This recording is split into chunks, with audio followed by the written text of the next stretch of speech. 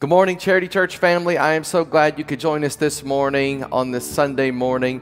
I really do miss us getting to be together, but I'm very thankful for the technology that we have to be able to join together online. Now, first of all, before we um, dive into a message and a worship song, um, I want to take a moment to receive our tithes and our offerings today. Um, I, I, think obviously we all know that these are unprecedented times that we're living in, but I want to say to you, I want to remind you that Jesus is absolutely the master at doing more uh, than what we thought he could with less than what we thought he ever needed. And I pray that you individually in your homes would have a fish and loaves experience at your house. And just like the little boy who had the fish and the loaves, he had to be willing to bring that over to Jesus. And when he brought it over to Jesus, Jesus multiplied that and stretched it to feed thousands of people. And I'm praying that you would see over the next several weeks and months that indeed the Lord is stretching out your resources and blessing you. Unlike ever before in our lifetimes, our personal giving right now, our surrender to the tithe and the offering is evidence and proof that we trust God. So, in just a moment, we're going to play uh, a song here, and I'm going to encourage you to pick up your cell phone or another device that you're not watching uh, us live on right now and go to www.becharity.com forward slash give, and there you'll find ways in which you can participate in giving please live out your faith in your giving. And if you have questions about your giving right now and how to make that work, please feel free to email April Richardson at april.richardson at becharity.com. And I just want to ask you if you would take a moment as a family just to pray and consider giving a little bit beyond during this season for the church. Um, my friends, I, when this is all over, I'd love to see that Charity Church our church never missed a payment. Not a, not, a, not a payment to IPL, not a mortgage payment, not a payment to one of our missionaries.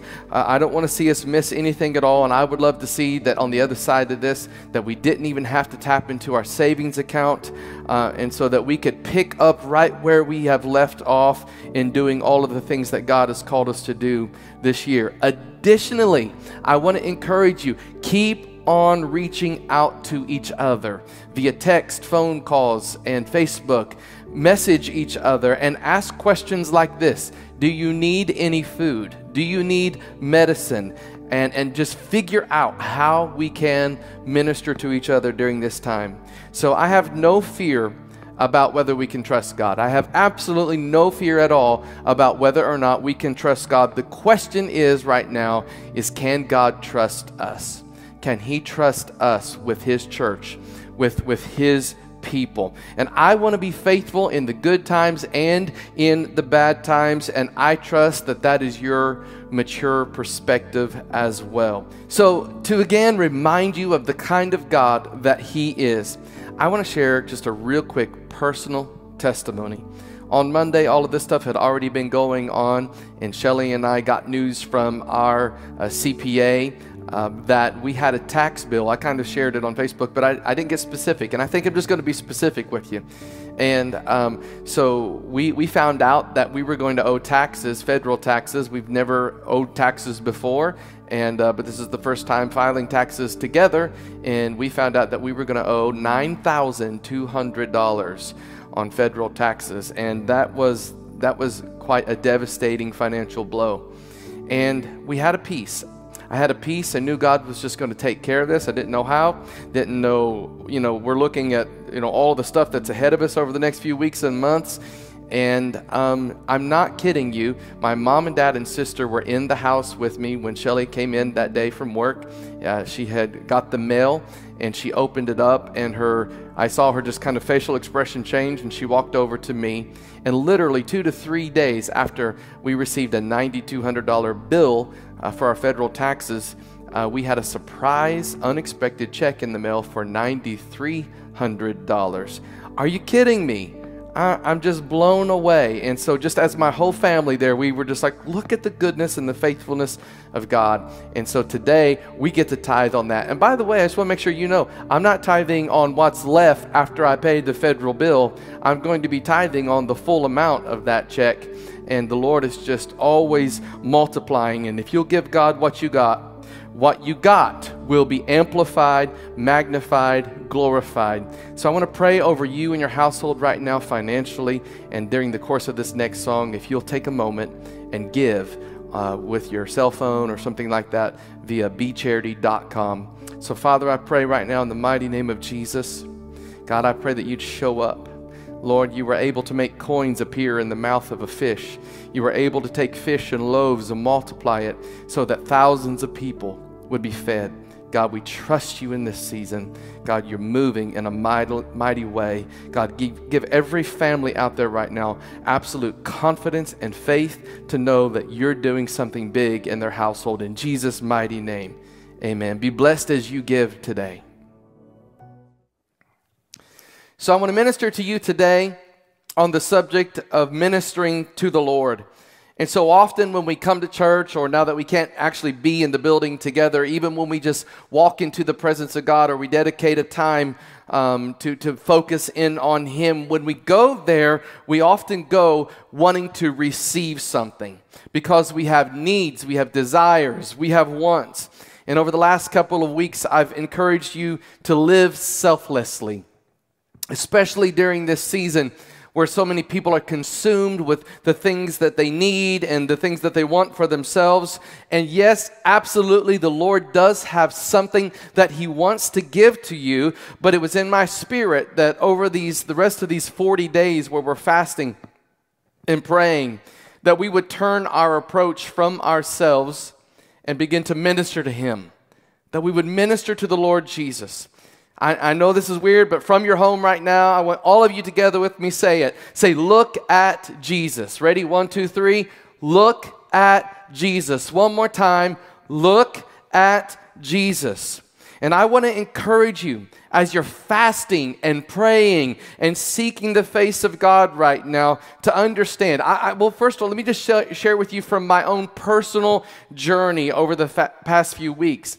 As I was fasting, uh, I fully anticipated that I was going to dig in and press in and that I would feel the nearness and the closeness of God in an increased way in my life, but something surprised me the almost two weeks ago that we began this fast.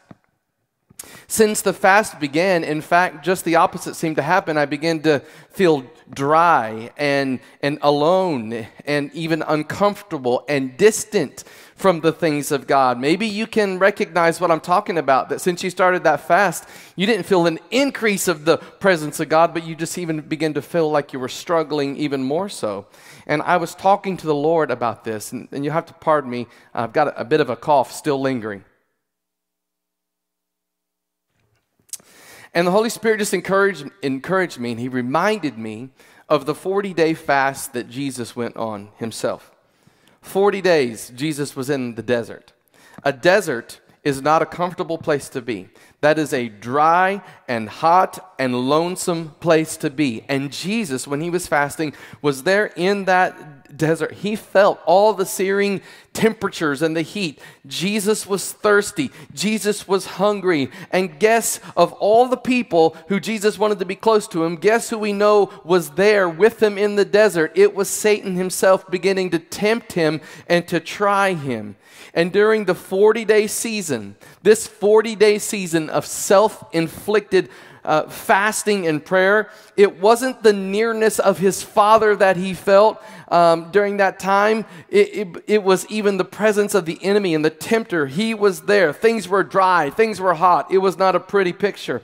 But like Jesus always teaches us, for the joy that was set before him. So hear me right now. It's not that during the 40 days of this fast that we're going to feel the presence and the closeness and the anointing of God. It's on the other side of this fast where we get to experience those things. On the other side of the 40 days in the desert came the launch of his ministry and the release of his anointing that was in him. It was the pressing and the crushing of the desert that produced the anointing within the vessel of Jesus that would one day be brought out of the desert and into the world where there were hurting people who needed ministry. So continue right now. I want to challenge you don't stop, don't quit, don't give up coronavirus or no coronavirus or whatever is going on, fast and pray and seek God for the joy that is set before you right now. For the joy that's on the other side of all this. And what's happening in us right now during this 40 days of fasting and praying and seeking Him, it's deep. It's beneath the surface. It's unseen right now. And do not compromise it. Do not um, uh, be persuaded to stop doing it. Don't break your self imposed or your Holy Ghost directed guidelines. See, because the Holy Spirit is doing a heart work inside of us, our hearts are being turned to the Father and what's so wonderful about this exchange is that when the hearts of the children are turned to the Father, the heart of the Father is turned to the children. And I want you to right now imagine a moment when God gets all of us and we get all of Him. So, these 40 days and this message today, this Sunday, is about us and our ministry to the Lord, our ministry to God. And, and, I know what you're thinking. Well, does God need ministering too? You know, aren't we the ones in need right now? Why does God need us to minister to Him? See, when we hear the term ministry, we often think about the needs of the people because they are so great and there are so many. And a few weeks ago, I mentioned how um, I had been at a conference and discovered that all of these churches were talking about the thing that they did best, and the thing that so many of them talked about as doing best were social justice issues and, and I began to realize no one was talking about eternity, and no one was talking about repentance, and no one was talking about seeing souls saved and people rescued from hell and on their way to heaven. And everybody was talking about some social justice issue, and churches have become these social justice clubs. We cannot be a biblical church without addressing social causes, but you can address social causes and issues and not be a biblical church. I want to be a biblical, God honoring church. The church is first and foremost about the eternal soul of mankind.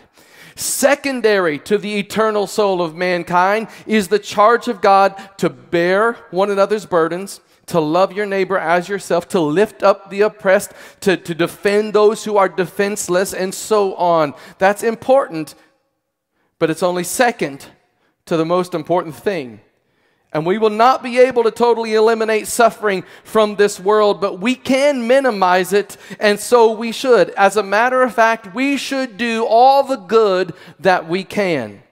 But we must never forget this one thing. Our first ministry, our number one priority, is that we minister to the Lord. That's our first ministry. And this is an area that is not frequently taught, understood, or even thought about in churches. And it could be because the needs of the people are so great and so many, and because uh, we understand that, that, that God,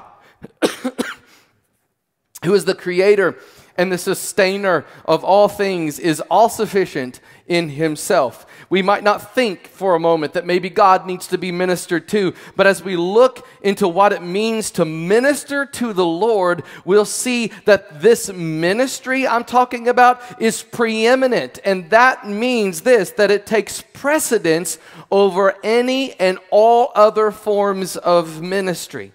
So, as a church, we've been reading together through the Old Testament, and we discovered that when the Lord gave the, the Torah um, at, Sinai and established his people as an organized, worshiping army instead of some aimless, wandering group of people, he established an entire tribe who had the primary role of this one thing ministering to him. An entire tribe of Israel was designed with one thing in ch- one thing they were charged to do, and that was to minister to God. Deuteronomy 18:5.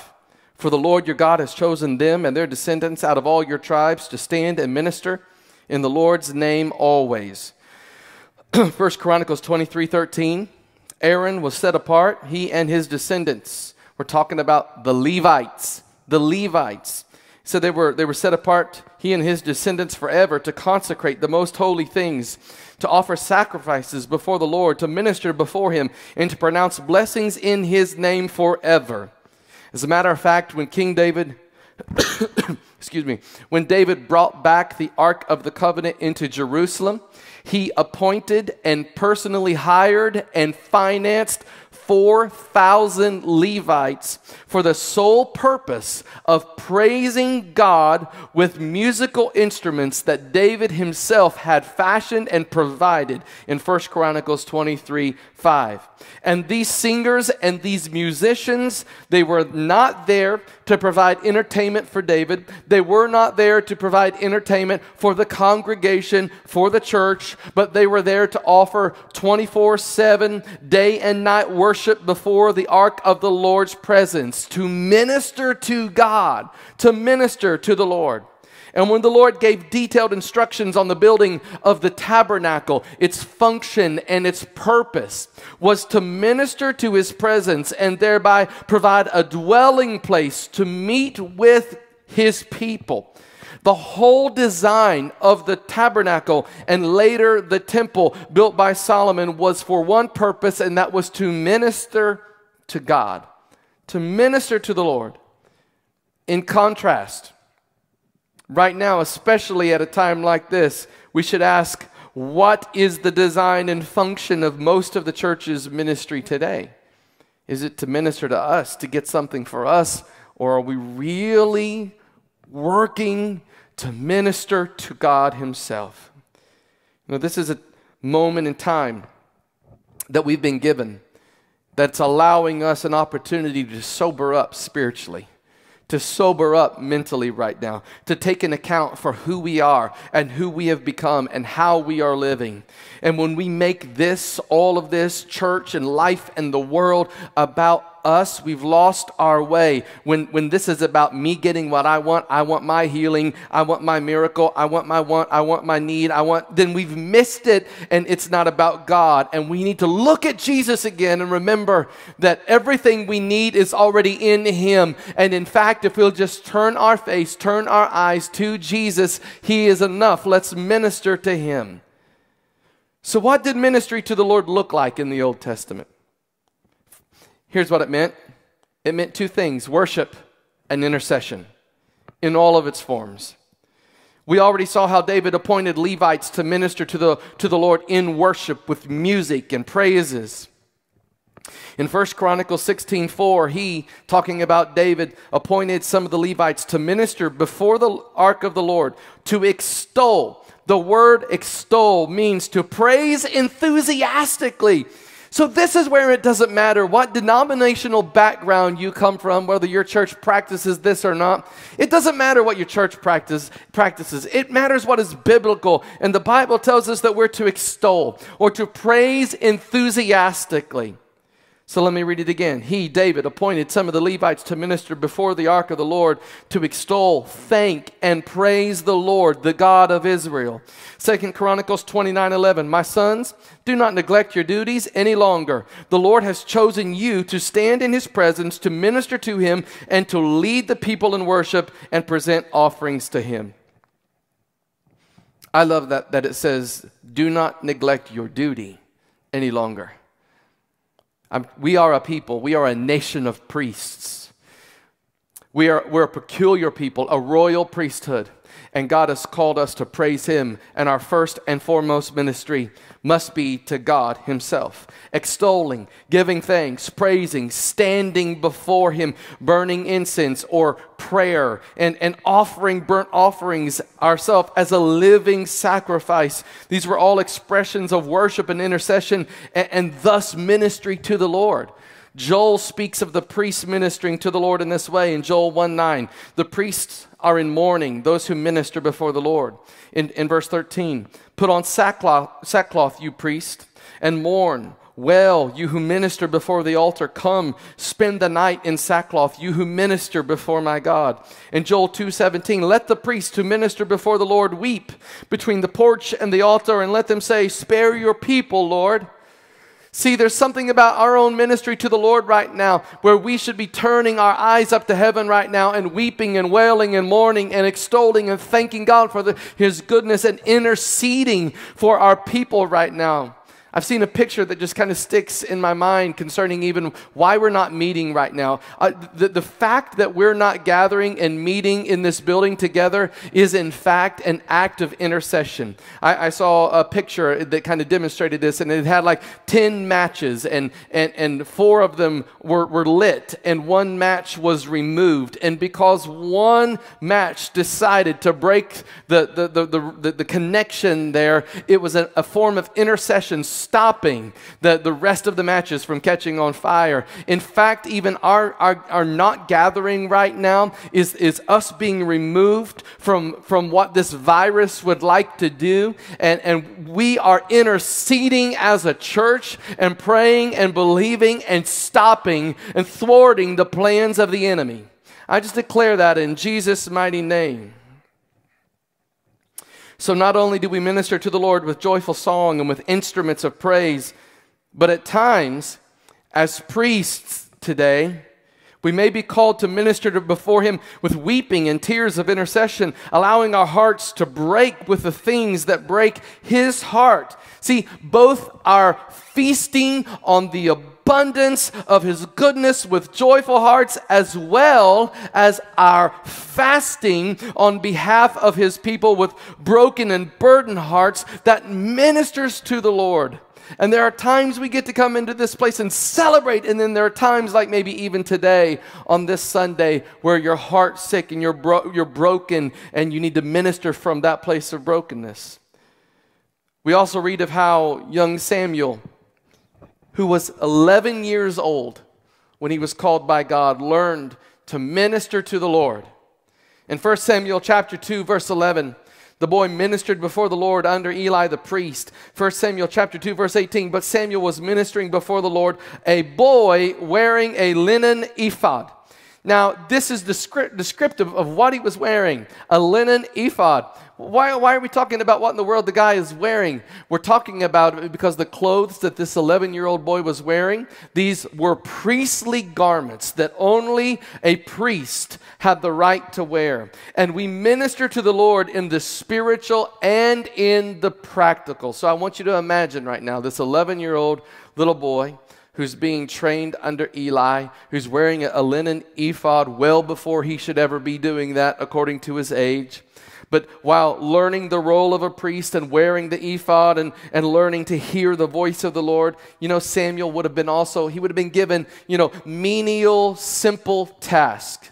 He would have participated in practical jobs like maybe you're having your kids do right now, like sweep the floor, um, you know, dust the furniture, and, and just cleaning up around the house of the Lord. Even the grown up adults who served as priests and Levites, they were assigned practical somewhat menial tasks and duties. They had to trim the wicks and, and remove the ashes from the, the burnt offerings and putting out the bread of the presence and then disassembling and carrying the parts of the tabernacle and then putting it all back together again when God said it was time to move. I want to say that this, I'm, I'm, I'm saying all that to say this. There are times when our simple acts, of seemingly menial task performed in his presence from a heart of worship, tasks that may go unnoticed by man, they serve as ministry to our God. They bless his heart. So, all of the examples of ministry to the Lord that we've looked at so far, all of those come from the very same Hebrew word, sharath, S H A R A T H, which means this to attend to, to minister unto, to serve or wait on. But in the Psalms, we find another dimension of ministry to the Lord.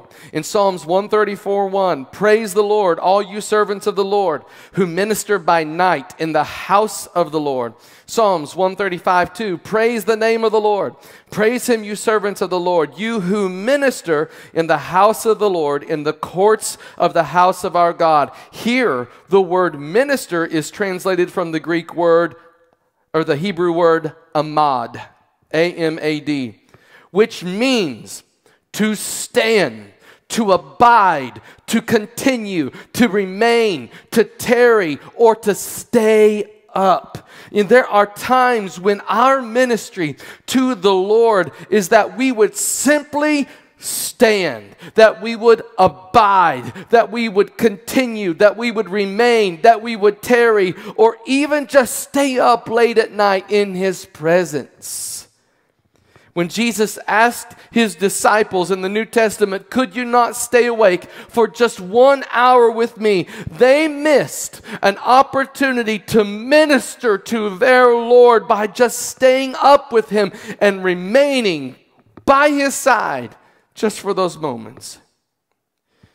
So, whereas the first meaning of ministry to the Lord, Sharath, carries the meaning of, of, of waiting on in the sense of a waiter or a waitress serving someone. The second Amad means to wait on in the sense of a watchman, staying awake, or someone simply staying or abiding in his presence. Yes, we are called to go minister to this world and to minister to his people. Indeed, Jesus did say to us, As much as you have done it to the least of these, you've done it unto me. But let us not become so busy and so focused on the needs of the people around us that we miss our primary and first calling, and that is to minister to God Himself. When Mary stayed or amad at Jesus' feet, the Lord said that she has chosen the better part and that it would not be taken away from her. Martha was in the kitchen doing her thing. Everybody was doing their thing. But Mary wept at the feet of Jesus and remained. There were things she could have been doing, maybe even things you, we could say she should have been doing. But she put all of those things down and she ministered to the Lord. Being with Jesus, being in his presence right now, is your number one most important ministry. That you be in his word, that you worship that you sing praises to him, that you extol him, that, that, that you thank him. That if he tells you in the middle of the night, get up and stand and, and wait, then you do that. If, if he says, break your heart right now and, and wail and mourn, then minister to him right now. See, our tears are the oil that, that came at a great cost to us. Our tears should be used to wash the feet of Jesus Christ. There's no greater consolation when you're so brokenhearted that all you can do is cry. The best thing you can do is use those tears to wash the feet of Jesus. Tears that are being squeezed out of your life right now. The oil was so priceless and precious because it came from the place of pressing and from the squeezing. It's the, it's, it's the essence of the struggle and of of the fight that we're in right now. Everybody here wants, we all want to be pure gold, but none of us like the fire. Everyone here wants to be a diamond, but no one wants the pressure. We don't want to go through the stuff you got to go through to become that beautiful. See, these pressures only exist to activate something in our life the presence of God, the anointing problems only exist to activate a place where our faith can be exercised. So we often just get so lost in what we're achieving for God. And God keeps bringing us back to what we're becoming for Him. And what we achieve by obtaining goals isn't nearly as, as important as who we're becoming in the process of getting there. And I want to challenge you in the, in the midst of this perilous time and trial that we're experiencing right now, you must believe and you must know, you must have a confidence that God is developing something in each and every one of us. See, blessings always come with burdens. Children are a blessing. I know maybe you're questioning that right now after having them with you for a couple of weeks. But, but children are a blessing, but they're also a responsibility. There's a burden. They keep getting hungry, they always want more food. And their feet keep growing, and they need more new shoes and clothing. But there's a blessing in all of it. So, what is God squeezing out of you in this fast? What is God squeezing out of you during this trying time right now, in this perilous and, and, and, and troublesome time, during this season of self inflicted pressure right now, if you're cooperating and, and obeying the Lord in the fast? So, as we minister to God with the brokenness and availability of our lives, remember, God needs nothing. We're not ministering to God because He has needs, but because He has desires. That's why we minister to Him. Not because he has a need, but because he has a desire. He desires to abide in the praises of his people. He desires to have a relationship with us. And we can only come to that relationship through the confession of our sins and recognition of God's saving act of redemption through his son, Jesus Christ. So we have to come to a realization of the absolute power and the absolute authority of God over everything and begin the process of, of grasping the depth of his love for us and what he did through Jesus Christ on that cross. Redemption. Redemption. He wants to redeem your life right now. If you are watching right now, and I, I hope you are, I hope that that I'm not glad that all of these bad things are happening. Don't get me wrong, I'm not saying that. But I hope that in the midst of these bad things that are happening, that it's sobered up your spirit and sobered up your mind, and that it's causing you to think about the realities of life and death. And so, right now, first and foremost, are you born again? Are you a believer? I'm not talking about did your parents have a faith or your grandparents have a faith. You won't make it to heaven on their faith. You have to have your faith where you've repented of your sins and you've come to Jesus Christ and, and you said, Lord, I'm not going to have anything to do with those acts anymore. I repent. Repent doesn't mean say I'm sorry, repent means turn around. Turn around, do an about face, walk in a different way. And so, right now, it's not a scare tactic, but the fact is that things are scary right now. And with all the things that are going on in this world right now, the thing that you have most to do is to prepare for eternity, to make sure that you're ready to spend eternity with Jesus in heaven, not in hell. I don't want you there. You don't want to be there. Jesus doesn't want you there. Jesus is doing everything he can to reach you, to rescue you. So I want to ask you just to simply have a conversation with the Lord right now. That's what prayer is a conversation. And just ask him to come into your heart. Ask Him to come into your life. Lord Jesus, I ask right now that you would come into my heart, into my life, and forgive me of my sins. Lord, I repent for everything that I've done that hasn't pleased you, that hasn't aligned with your word, that's been hurtful to others or hurtful to myself. God, I turn away from those things and I walk after you. I seek you now. And Lord, I pray that this would be genuine from my spirit and that I would never return to those ways again. But from this day forward, I would be a new creature, a new creation, born again in Jesus' name. Amen. Amen. So I'm going to challenge you to do something crazy, even if you are, are quarantined in your house, once you get somebody in your house, I don't care if it's your 10 year old, have them baptize you in your bathtub as an expression. Put it on um, Facebook and let the whole world know that even right there in your home, you received Jesus Christ as Savior, you got baptized, and that you are a new creature, a new creation, and that you have been born again. And with that, everybody else, all the believers that are watching this right now, listen, our greatest worship is that we give ourselves to Him. That is our greatest worship. Fully, completely, unabandoned. I challenge you with that. Charity Church, I love you. I bless you. And I want you to keep your faith and, and keep moving forward. Keep, keep being strong in the Lord. I bless you. I thank you. And I can't wait to see you all again. And uh, see you soon.